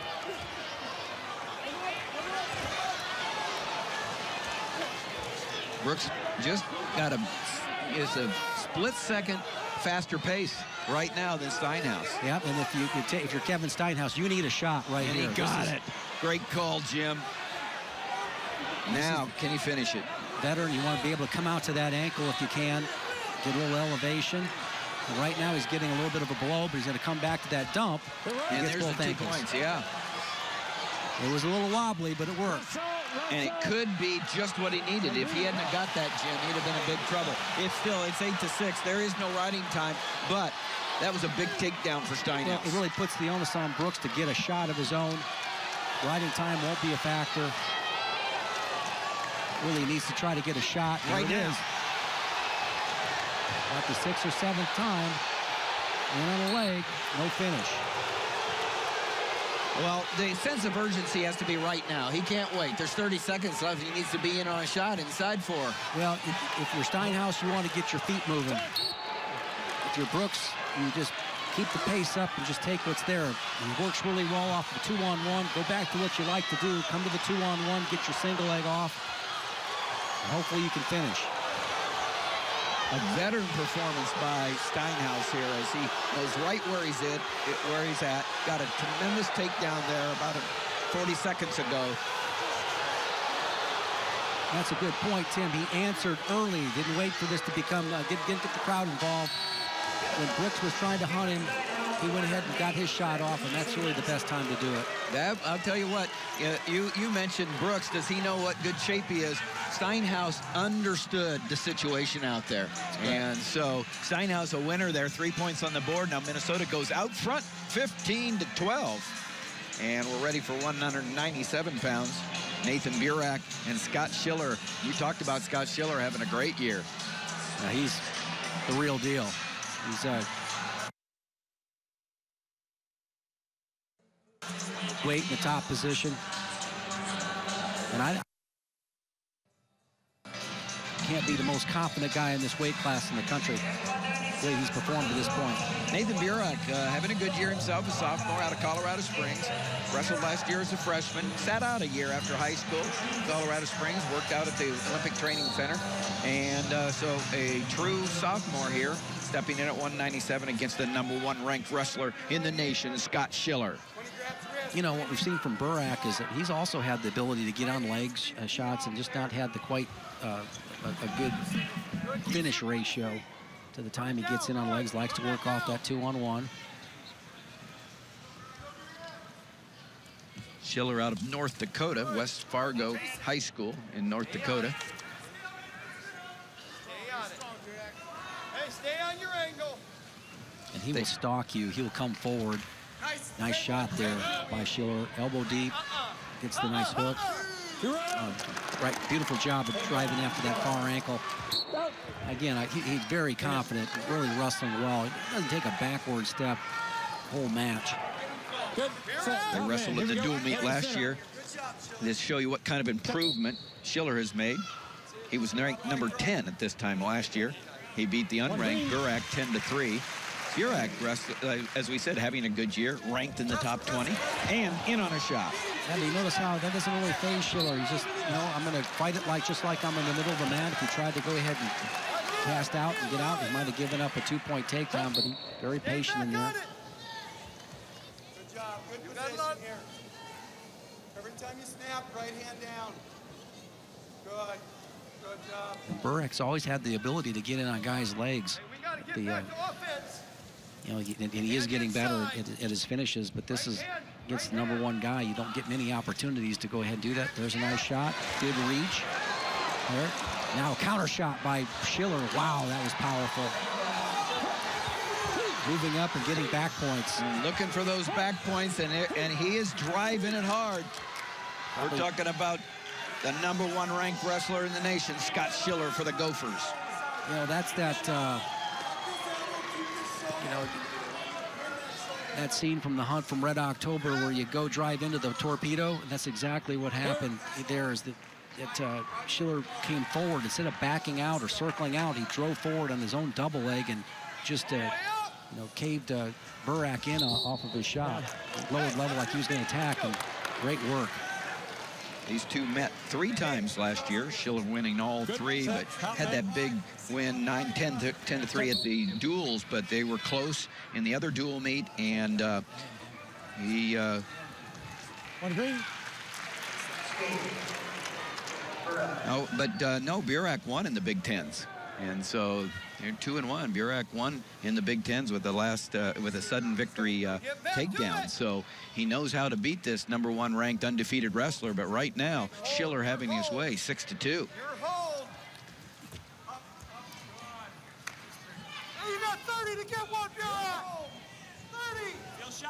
Right now, right here is where Burak needs to execute something. We talked about early. I mean, he you, it's uh, it's right there. Right off the two on one. But here's what the, the difference is: is that Bur uh, Schiller goes forward. You get on his leg, he attacks and he's you. got it locked up. He's got a cradle locked up. So you got the two. Burak breaks the cradle. No point. Yes, he does give back points. Two points back. And at the end of the first period, the score is 10 to 2. Watch this. Look at this earlier takedown here. What's the action by Burak, right? But Schiller goes forward, right? He puts his foot down and goes forward. He goes and attacks you. He goes out and gets him some. Ready? And elevates that bottom leg and gets the back points. Did the same thing off a Burak shot before. He attacks you. And that's that's unique from what the wrestling that we've seen here earlier today. You know, too many guys just try to get to a neutral position and don't think about scoring right there. One green. 10 to 3 already is on the scoreboard. And Burke, Burak, you know, this is a point in the match. You, you got to get, got to be up in the corner. You got to be telling your guy, hey, keep firing, keep get, getting after it here. Don't. Know, that's one of those things where you, you know, the dual meet score may, might be 15 to 12, but you got to tell your guy, you know, hey, you got some confidence here. Get go out there and create some action and and learn some lessons that you can next time you go up against this guy. Well, you mentioned confidence uh, when you were It's talking dead in about here. Schiller. I'll tell you what, the confidence, though, with Scott Schiller is huge. You're, it- you're right. I mean, and um, he has taken it all out of this crowd right now. 10 to 3 in the second period, a One minute minute, guys, left one minute. at 197. Yeah, I think everybody can hear us talking. You know? it is it is eerily quiet in, in Carver.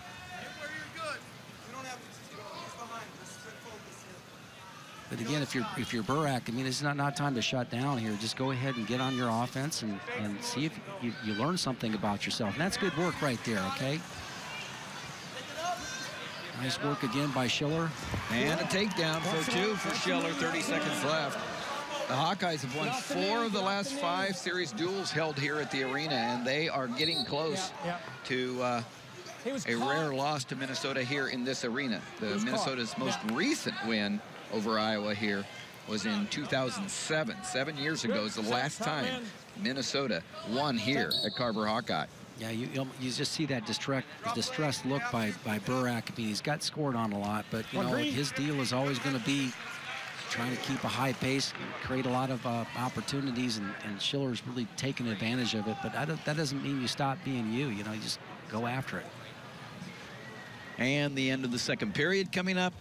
Scored 12 to 4 in favor of Scott Schiller, the undefeated, top-ranked 197 pounder. Good look at this junior out of West Fargo, North Dakota.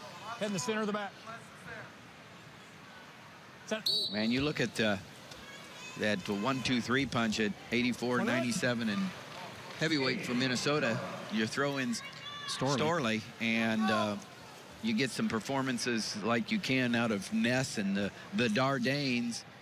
And now there's not anybody that uh, doesn't uh, know what's going on for Minnesota at uh, 125. Well, Minnesota has a lot of guys, you know, what, eight returning All-Americans this year, a returning NCAA champion, number one ranked guy at 97.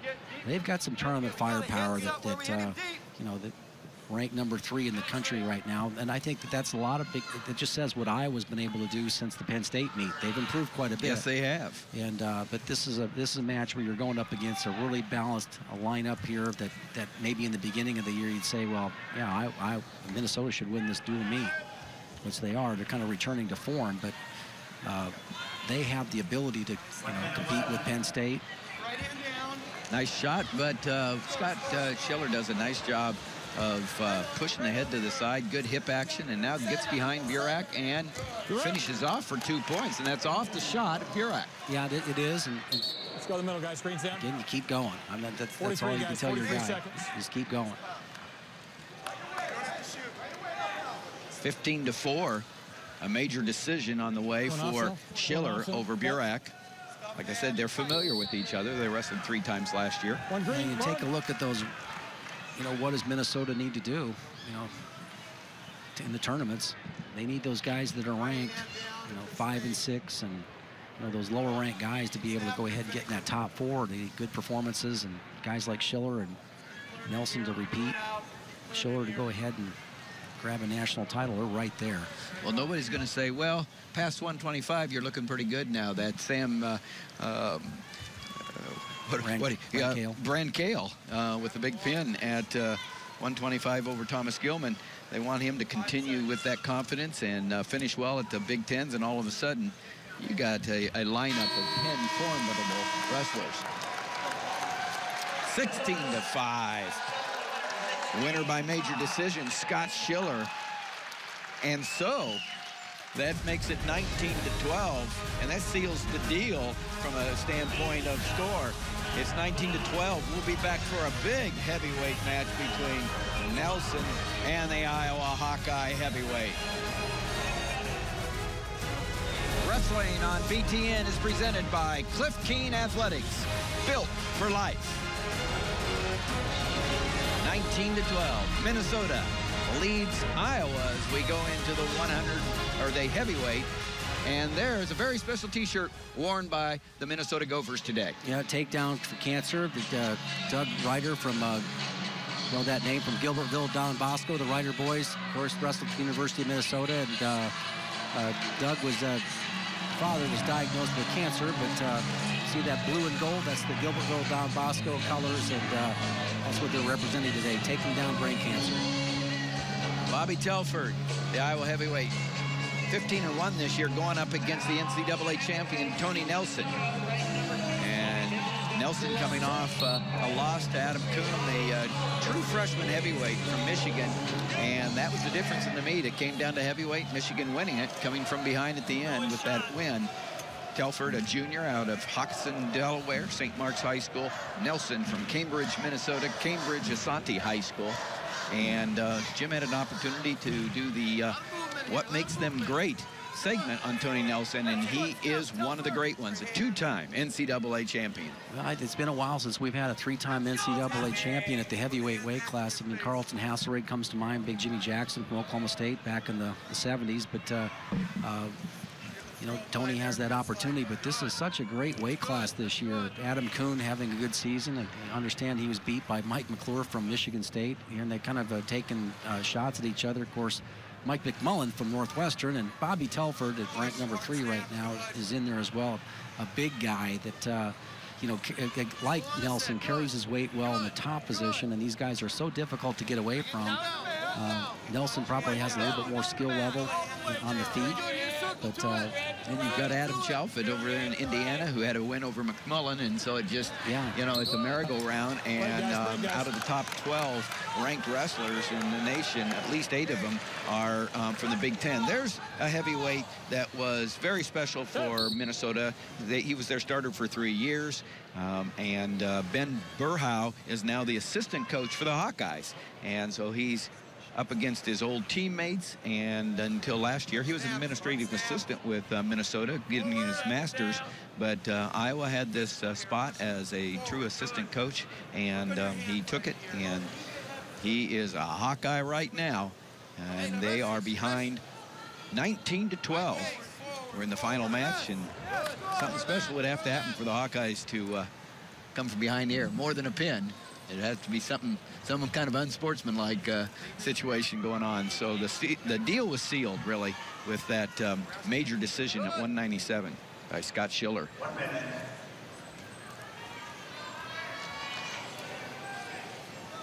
One minute left in the first period, so you've got, uh, you know, both guys like to work the collar tie really hard, and it doesn't look like very much. Telford in on the leg. He's got an opportunity to score. This would wake this crowd up.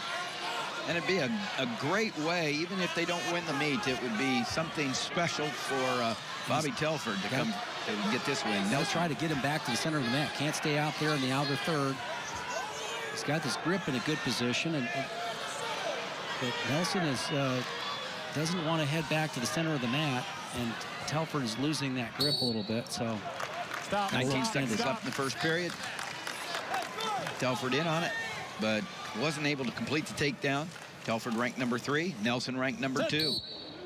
Again, you don't get many scoring opportunities to that, uh, that back leg of Nelson, so now he's changed his stance up a little bit. So I think uh, good period so far for Telford. And this first period is coming to an end. It's 0-0. We're at heavyweight here at Carver Hawkeye Arena on a Saturday afternoon. Bobby Telford, number three ranked wrestler, a junior, up against the senior two-time NCAA champion, Tony Nelson. Again, what separated him in this weight class over the years is quick escapes and being able to stop, you know, stay, you know, carry guys, make guys carry his weight in the top position. So comes up, Telford's got to make him work. Wrestle, wrestle. Right? He's able to get, elevate that knee. He's got his, see how he's got the, the grip locked up and he came off and he's going to try to get to the ankle and twist the knee a little bit. Advantage position for, for uh, Telford, but he lost it there, got his head to the outside. Nice work there. Nice work by, by Nelson being able to go ahead and, you know, look like that leg was to the inside, but he was able to stuff Telford's head to the outside and then just put more weight on his leg and get the quick escape. So he did that with 26 seconds of riding time for Telford. Nelson out front, 1-0 with that.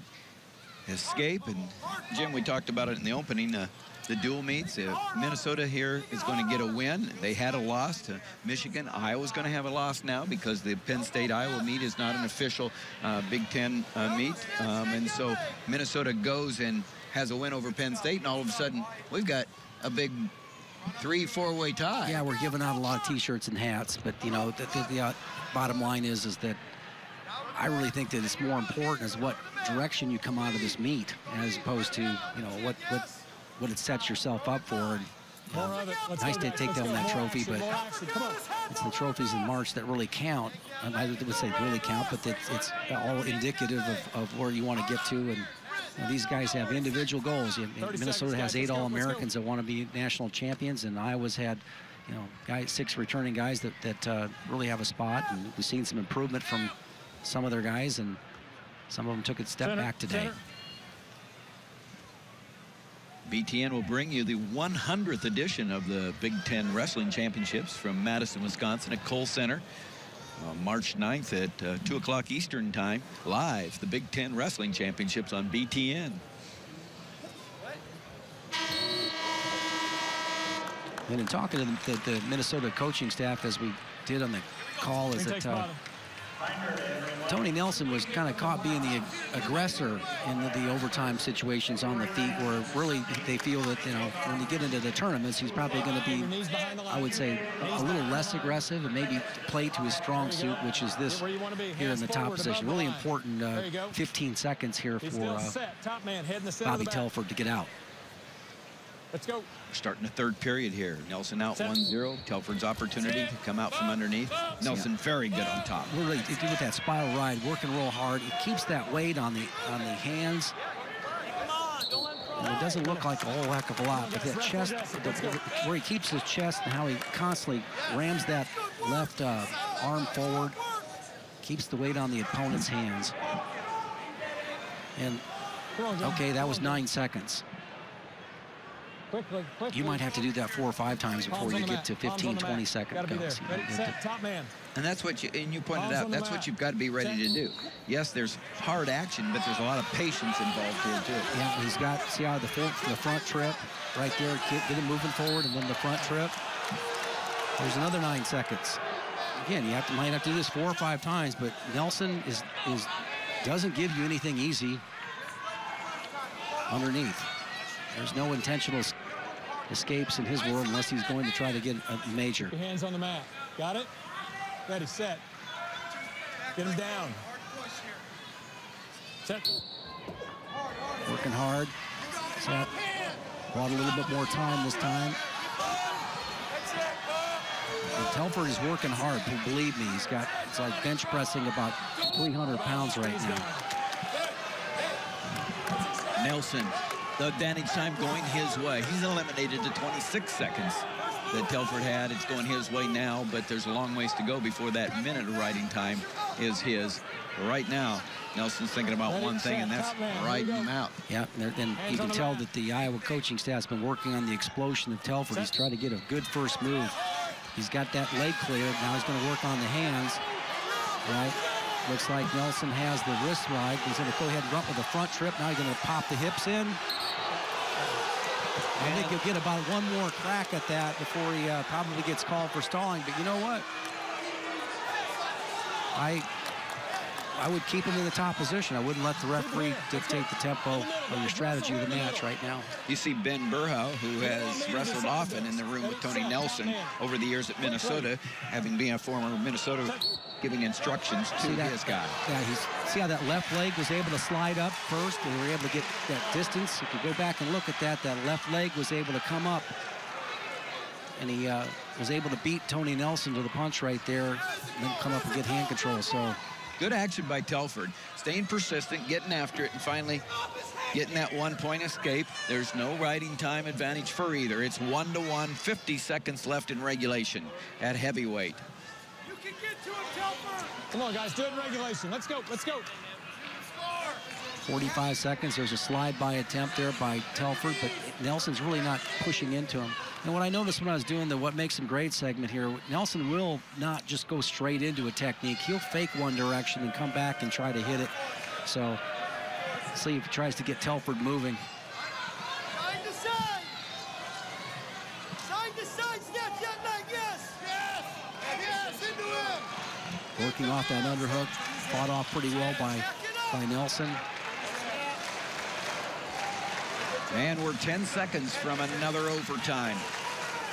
You know, heavyweight wrestling is just different. You, know, you just, guys are so big and, and, powerful and strong. You just can't attack them usually straight on. And, and you got to be ready to go all the way through these 30-second periods. Yes. I mean, unless it's there, as you would say, Jim. But I mean, it, here's you got the one point, uh, uh, or the one minute for the sudden victory. Um, but uh, the winner often in heavyweight is the one that doesn't lunge at the end and try to make a shot that is, is ill-advised. Yeah, and if you're going to be a guy that takes shots, you got to be able to find a way to get back to the neutral position, not get spun around on. That's uh, that's easier said than done. Again, I like that little half shot right there, a little snatch single, and maybe get to the leg and see what happens. And but really, this kind of this action looks like we're headed to the 30 second uh, ride out periods. We're at sudden victory overtime. They're at heavyweight, 20 seconds left in the first one minute sudden victory. One to one in, in uh, regulation between the number two and number three heavyweights ranked in the in the nation. There's single attempt. He's got it. And he's going to be able to finish at two points. Telford, big win. Big win in many ways. Bobby Telford. Well, he Monkey just, off his back. He went for it. You Yes. know, you give him credit. I mean, tell you what, the, the, that's three losses for Nelson in this month. And And uh, it's a big win for Bobby Telford. really, what a confidence builder it was for Telford there. But tip my hat to Bobby Telford for taking that shot, not waiting to go into the right out.